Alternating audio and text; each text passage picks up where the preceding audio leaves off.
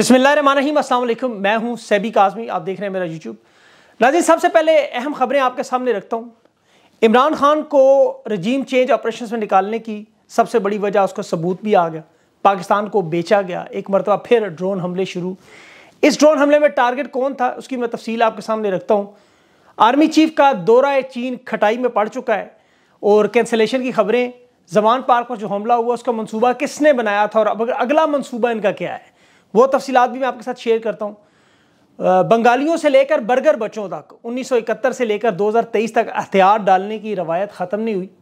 गिलगित के IG police को इन्होंने अचानक हटाया और ऑपरेशन जिब्राल्टर। अब सबसे बड़ी खबर ईरान, सऊदिया का जो हुक्मरानी का नया ख्वाब, डॉलर पेट्रो को तबाह करना, मीशत और अदालतों ने किस तरह न्यूट्रल को सेविंग, फेस सेविंग दी, तफसील से बताता हूँ।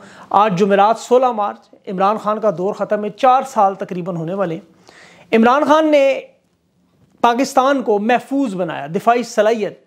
ऐसे लेवल पर लेके गए कि दुनिया की बाज़ाहिर बड़ी ताकत अमेरिका भी पाकिस्तान पर ड्रोन हमले करने का सोच भी नहीं सकता था। अभी जनूबी वजीरस्तान की तहसील है लदा वहाँ पर एक इलाका है जंगाड़ा। खंदोखेल मार्केट है, वहाँ पर मुकामी लोग एक दुकान शफकतुल्ला नामी एक शख्स, आम पाकिस्तानी, किसी सरगर्मी में मुलविस नहीं पाया गया, दुकानदार।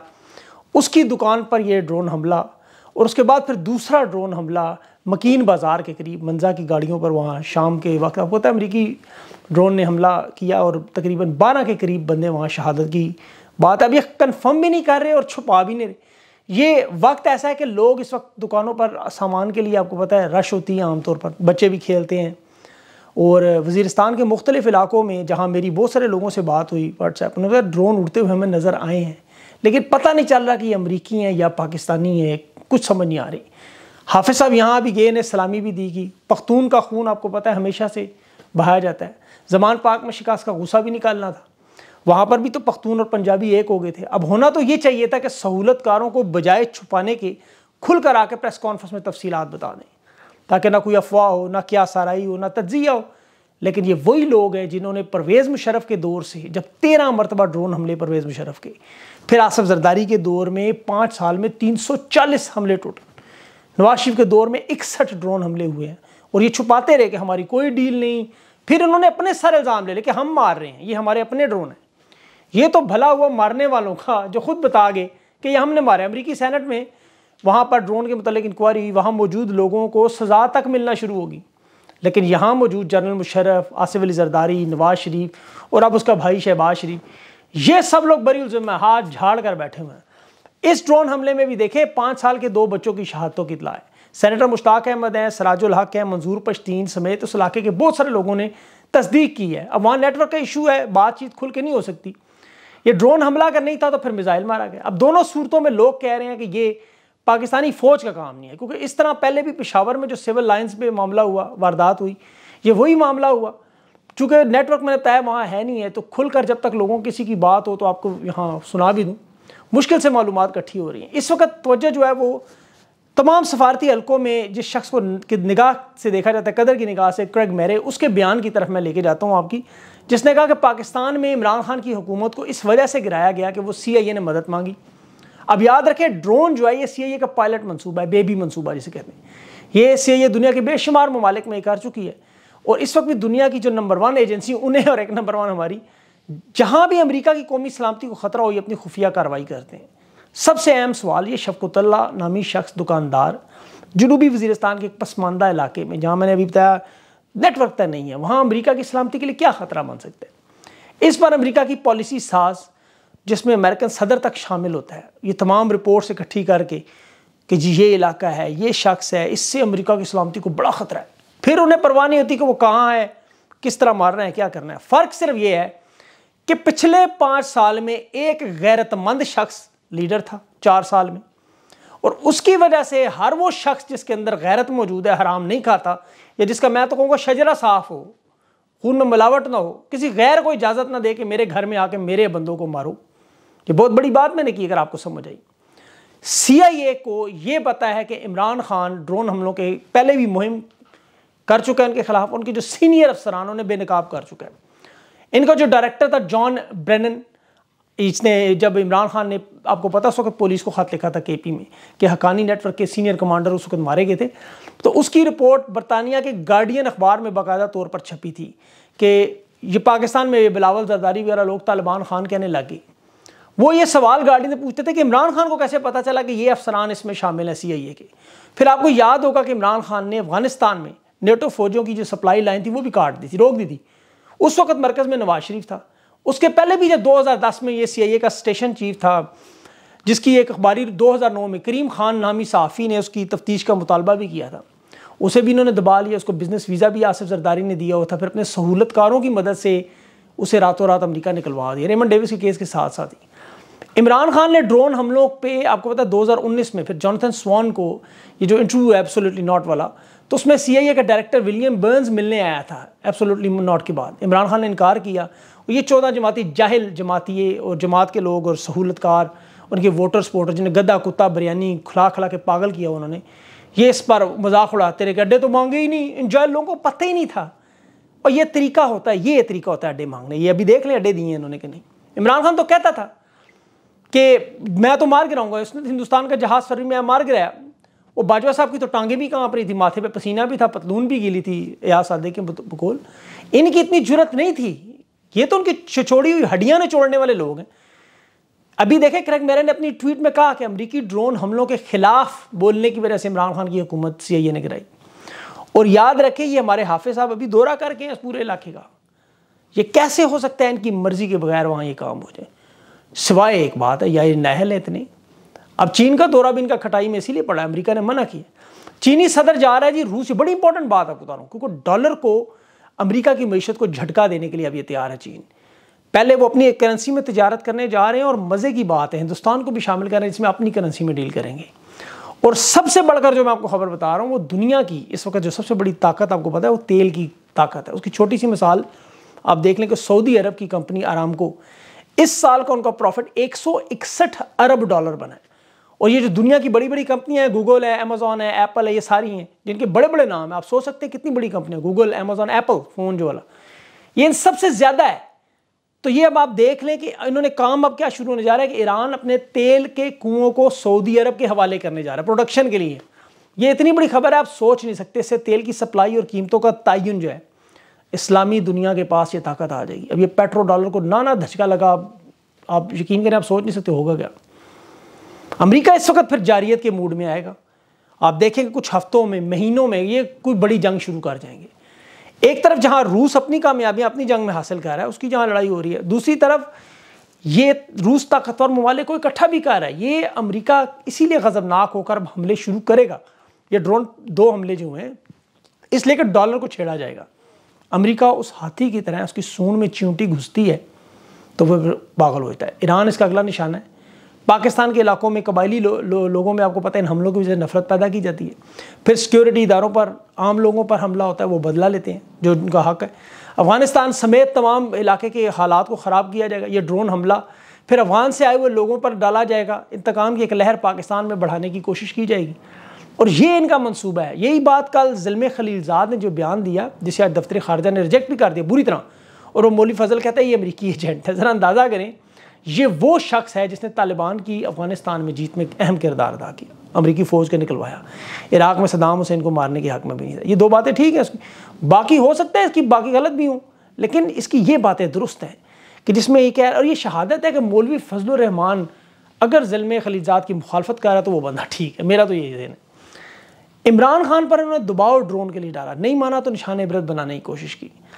आज इमरान खान की कौम के जो फ्रंट लाइनर्स पर हमला किया गया, पख्तून पर, ये इमरान खान की फ़ौज का हर अवल दस्ता है। तेरह बुज़ुर्ग, दो मासूम बच्चे। इनका ज़िम्मेदार हाफिज़ है, शहबाज शरीफ है, मौलवी फजल ये फजलरमान है कौन है? इस पर मजीद आप अपडेटिंग स्टोरी इन तफसीत आती रहेंगी, मैं आपको अपडेट करूँगा। सोशल मीडिया पर एक मैसेज बड़ा गर्दिश कर रहा है कि जी, इमरान खान अपनी पार्टी के कुछ अहम जो लोग थे, उनके कहने पर एक लेवल पर गिरफ्तारी भी देने को तैयार थे। फिर इमरान खान को फ़ोन कॉल आई इंटेलिजेंस की तरफ़ से कि आप, उनके हमदर की तरफ़ से कि आपने ये नहीं करना, ये आपको लाजमी मार देंगे। इमरान खान के फिर जो करीबी साथी हैं, बहुत करीबी, मैं नाम नहीं लेता उनका, उन्होंने कहा कि आपने गिरफ्तारी नहीं देनी। और ये मामला फिर फिर उस शख्स से, जो इमरान खान के बहुत करीब है, मैंने मैसेज करके आज सुबह पूछा भी उनसे ये बात कि ये मैसेज की कितनी सच्चाई तो उन्होंने कहा मैंने कहा आसिफ जरदारी का नाम आ रहा है। तो, तो मुझे कहा यार देखो आप खुद समझदार हो। मैं आप कॉल रिकॉर्ड भी हो रही हैं। मैं नहीं चाहता ये भी लीक हुई हो हमारी कॉल। तो मेरा ज़ाती ख्याल यही है कि इसमें कोई शक नहीं है वारदात कर रहे थे। बहरहाल ये असल गुमनाम तो वो हैं जो इंटेलिजेंस के लोग जिन्होंने इमरान खान की जान बचाने में अहम किरदार अदा किया। और चले मैं आपको फेवरेट अपनी जो बात बताऊँ तरीके इंसाफ के लोगों की जिन्होंने मेरा दिल खुश कर दिया यकीन करें। ये फ़र्क होता है जब आप बिरयानी खिला खिला के लोगों को पालें या लोगों के जहनों में अकलो शूर डालें, उन्हें ट्रेंड करें, तजर्बा दें। ये बर्गर बच्चों की बात करते थे, बंगालियों से शुरू हुई थी बर्गर बच्चों पे, करीब दो चार शेल मारेंगे, भाग जाएँगे सारे। सहूलतकार, हवलदार, फिर यहाँ मिस कैलकुलेशन करके, मैंने ट्वीट भी किया मनसूबा असल में ये था कि 20 मिनट लगेंगे हेलीकॉप्टर से जमान पार से खान को उठाएँगे, बलोचिस्तान मस्त जेल फेंक दें बलोचिस्तान तो पहले से इनके कंट्रोल में जगह जगह छावनियाँ बनी हैं, वो तो बिल्कुल ही एक, आपको पता है वाटर जोन बना है। पंजाब से खैबर पख्तूनख्वा से लोग बलोचिस्तान तो जा नहीं सकते। छः महीने रखेंगे, इस दौरान इलेक्शन कंपेन ख़त्म होगी। हम पंजाब में हुकूमत बनाकर सारी तरीके इंसाफ पार्टी को तोड़ देंगे। बिल्कुल उस तरह से शेख मुजीब के दौर में इन जर्नलों ने सर जोड़कर बोंगियाँ ऐसी मारी थी। जमान पार्क हवालदारों की नाकामी से लाहौरियों के हौसले बुलंद हुए। सियासतदानों के तबाह। पाकिस्तानी खुश हैं इन लोगों ने इल्ज़ाम लगाया था, बर्गर बच्चे हमारे सामने लाए। ये वो नहीं, अंदर ट्रेंड बैठे हुए जमान पार्क में। मरियम नवाज़ अब लाहौर से इलेक्शन नहीं लड़ गुजरावाला से लड़ रही है। इन्होंने मोर्चा किस तरह संभाला? देखें, ये अगर जुल्फ़ार अली भुट्टो को जब फांसी पर चढ़ाया जाता, ये लोग नहीं निकले। बेनज़ीर भुट्टो को लियाकत बाग में इन्होंने दिन दिहाड़े मार दी, ये नहीं निकले। इन लोगों ने बदला जा आम लोगों से नहीं, कोई चीज़ सारी तोड़ फोड़ कर दी, बसें, गाड़ियाँ। फिर ये नून लीग नवाज़ शरीफ की दस साल डील करके जद्दा भागा वापस आने की कोशिश की, उन्होंने बाथरूम में गंदे टॉयलेट में नलके के साथ बांधा हुआ था इसे। कोई नहीं निकला। खुद नवाज़ शरीफ गिला करता रहा, कदम बढ़ाया, पीछे मुड़ मुड़कर देखा कोई नहीं। जमान पार के बाहर लोग इमरान खान के लिए अपनी बाखुदा जान देने को तैयार थे वहाँ। नवाज़ शरीफ ने लंदन में काले और गोरे बाउंसर रखे हुए दो सौ पाउंड पता नहीं घंटा नौकरी पे। कोई कारकुन उनके साथ खड़ा होने को तैयार नहीं, वो सारे जो सोशल मीडिया होते हैं। इमरान खान को जिन्होंने गिरफ्तारी का मशवरा दिया था, ये वही लोग हैं याद रखें, जो ज़्यादातर पीपल्स पार्टी और नून लीग में से हैं। इसीलिए बुजदली कर जाते हैं अक्सर। कुछ तरीके इंसाफ के भी लोग गायब थे। चले, ये भी अच्छा हुआ, वो भी सारे नंगे उन्हें पकड़े गए हैं। कुछ डह गए थे, वो भी नंगे हो गए हैं। अब जो इमरान खान ने सात रुकनी कमेटी बनाई, उसमें भी कुछ लोगों के नाम नहीं है। अब मैं असद उमर का नाम देख रहा था, वो भी नहीं है। बड़ा अहम मामला है, लेकिन अभी मैं फ़िलहाल उस पर बात नहीं करना चाहता, क्योंकि और बहुत सारे मामला हैं। आई जी गिलगित बल्तिस्तान उनके कमांडोज भी मौजूद थे जमान पार से बुलाने से इनकार किया। उन्हें नौकरी से हाथ धोना पड़ा। उन्हें भी भूलना नहीं चाहिए हमें, बिल्कुल भी। ये कुर्बानियाँ हैं लोगों की। देखें, उन्नीस में उन लोगों ने, आपने देखा वो वीडियो जिसमें वो बंदूकें फेंक रहे हैं, मैंने ट्विटर पर भी लगाई, पतलूने उतार रहे हैं। कल वो शील्ड हेलमेट्स पड़े हुए थे, सर झुका कर जा रहे थे सारे परेड, लोग उन्हें ताने मार थे दुख भी रहा था और खुशी भी रही थी। खुशी इस बात की कि जुल्म ख़त्म हुआ। दुख हो रहा था कि पाकिस्तानी है ये भी। अब बाचा खान ने जो बात की थी एक दफ़ा कि आखिरी जंग जो लड़ी जाएगी पंजाब में, लेकिन उसे ये नहीं पता था कि ये जंग पठान और पंजाबी मिलकर लड़ेंगे और सिंधी और बलोची जो आखिरी कील ठोकेंगे। इस माशरे में हमारे खून में बगावत नहीं है ना। हम लोग चूँकि जुल्म सहने के आदि हैं, मैं आपको सच बताऊँ, अनगिनत मसाले हैं। कादस मोहम्मद अली जना के साथ देख लें, लियाकत अली खान को देख लें भुटो को देख लें बेशक, बेनज़ीर को देख लें, और भी बहुत सारे पसे पर, वो अपनी जान दे के सब लोग, लेकिन पसे पर्दा किरदारों को बेनकाब नहीं कर सके। कायद अजम रहमतुल्लाह ने बड़ी मुश्किल का सामना किया। अंग्रेज़ों से लड़े, हिंदुओं से लड़े, सिखों से, अपने मुसलमान मौलवियों से वहाँ लड़े जो उस दौर के थे, जो काफर आज़म कहते थे। लेकिन लामा इकबाल के शेर पर इमरान खान ने पलटना, झपटना और झपट कर पलटना, वो तशरी बिल्कुल अपनी लाइफ में बता दिए इस्टेब्लिशमेंट की मिस कैलकुलेशन है, शर्मिंदगी है। यही मिस कैलकुलेशन उन्नीस सौ पैंसठ में भी उन्होंने की ऑपरेशन जब्राल्टर में। आई एस आई का वो था ब्रिगेडियर रियाज और ब्रिगेडियर इरशाद ये दो लोग थे। तीन पाकिस्तानी फौजी ने ऑपरेशन जब्राल्टर के कश्मीर वाली साइड भेजे। वो तमाम तफसीलात हिंदुस्तान के हाथ लगी, पकड़े गए सारे मिसकैलकुलेशन हो। बिल्कुल भी वारदात इन्होंने यहाँ की। अब यहाँ लाहौर हाई कोर्ट इनकी मदद को आई। अदालत को अमन अमान की कोई फ़िक्र नहीं, वरना मामला इस नहज पर पहुँचते ही नहीं। ये केस सुन लेते, कल ख़त्म हुए तो फैसला देते कि रुक जाए। कंपनी कह रही थी, लेकिन ऐसा ही करना था उन्होंने। ये तरीके इंसाफ के लोग शीशा पिलाई दीवार बन गई पहले रेंजर्स को उन्होंने भगा दिया। जो कमी रहेगी, वो वकला ने आके पुलिस को फेंटा दे के निकाल दी। अब ये फेस सेविंग भी दे रहे थे इन्हें और सेफ़ एग्जिट भी अदालत, इस कंपनी को। जब ये मैदान छोड़कर भागे तो अदालत की आड़ में आ गए अब सबसे बड़ा मामला ये लोगों को खौफ दूर हो गया। जी, अब तो ये या तो टैंक लेकर आए, या फिर दोबारा ऐसी हरकत सोचे ना। लेकिन मजाल है, ये दुम सीधी हो, जितनी देर मर्ज़ी बोतल में रखें। अब इमरान खान के साथियों के खिलाफ लाहौर में जो मुकदमात, उन्नीस दफ़ात और उसमें से एक इंसदाद दहशत गर्दी की वो दफ़ा जो भुट्टो पे भी लगी हुई थी। आज जिस हुकूमत में उसका नवासा बड़ा मौज मस्ती कर रहा है, कभी इस मुल्क, कभी उसमें कभी डेली शो में बैठा, कभी किधर, फर्जंद जदारी कह रहा है हुकूमत की रियासत के कानून के तहत इमरान खान का फैसला दुरुस्त, इमरान खान गिरफ़्तार बंदा पूछे तुम्हारे नाना को जब लटकाया गया था तो फिर क्यों चीखे मारते आज उसके नाम पर वोट लेते रहे? वो भी तो रियासत ने किया, अदालत ने किया। मुनाफिकीन है ये सारे। फजल रहमान को नैब ने बुलाया, उसने कहा, जी, मैं जाके कोर कमांडर के घर का घेराव करूँगा। राना सनाउल्ला के वारंट अभी भी जारी हैं। आईजी अदालत में जाके तो वो हमें मिल ही नहीं रहा। वो सामने बैठा प्रेस कॉन्फ्रेंस कर रहा है। मतलब ये सब दूसरी तरफ़ ये ड्रोन हमला और ये दूसरे भी वो मुनाफिकीन, वो मंजूर पश्तीन, मोहसिन दावड़ बिल्कुल नहीं बोले। इसी हुकूमत का हिस्सा ही ये लोग, जहाँ ये हो रहा है। याद रखें, जमान पार्क पर हमला ये आखिरी हमला नहीं है। अभी खैबर पख्तून साहब से इस्लामाबाद आने वाली शाह, उन्होंने बंद की हुई है पुलिस ने। क्यों? पूछे इनसे भी। क्यों आप नफरी इस्लामाबाद से लाहौर भेज रहे क्या तुक बनती है? कि चीफ सेक्रेटरी और आईजी को तो कहा गया बैठ के बात करें आप, तरीके इंसाफ से। इलेक्शन कमीशन इंतबात मुलतवी करवाने के लिए इंटेलिजेंस की रिपोर्टें पड़ती हैं। और जहाँ तक मुझे लगता है ये इस दफ़ा बिलावल को और मरीम को भी हो सकता है टारगेट करवाएँ। 2013 के इंतबात में आपको याद होगा कितने रहनुमा शहीद हुए, रैलियों पर हमले हुए। आज तो खुद कलादम तंजीम कह रही है तारीख तालिबान कि, हम इलेक्शन के हक में न रैली पर, न जुलूस पर, न किसी उस पर पोलिंग स्टेशन पर हमला करेंगे। लेकिन मरियम नवाज़ जिस ज़िया के दौर में जनरल ज़िया कहता था ना, पहले एहतसाब, फिर इंतखब। मरीम नवाज़ ने वही नारा पकड़ा, पहले इंसाफ, फिर इंतखब। ज़ाहिर है वो फर्जंदे उन कहते हैं रूहानी बाप थे ये सब लोग एक्सपोज हो चुके हैं। पेट्रोल, मीशत, महँगाई, इकानमी, सब तबाह बर्बाद। तहरीक लबैक का सुना था जी, वो हुकूमत के खिलाफ वो मार्च करेंगे, वो साद रजवी साहब बड़ा वो तकरीरें कोई नहीं, उन्हें चाबी वो देते हैं जब तक वो पीछे, वरना कोई नहीं। वरना इससे ज़्यादा महँगाई क्या होनी? सब लोग खामोश थे। लेकिन देखें, जो फिर आखिर में, जो जीत तरीके इंसाफ के कारकुनों ने की बात गिरफ्तारी की नहीं है। कानून की कल वो मेहर बुखारी ने ट्वीट की, मैंने जवाब दिया, वो लगी मैं।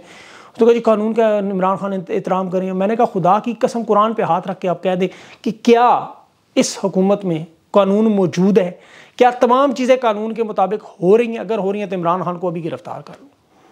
एक, इमरान खान तो फिर सारा कानून पे चल रहा है। इनकी कोई चीज़ कानूनी नहीं, इनकी हुकूमत कानूनी नहीं है, इनका मतलब अकायद कानूनी नहीं है। मैं उस पर फिर लबी एक तकरीर मेरी शुरू हो जाएगी। अपना ख़ास ख्याल रखें और मुझे इंशाल्लाह अगली वीडियो तक के लिए इजाज़त दें। अल्लाह हाफिज़।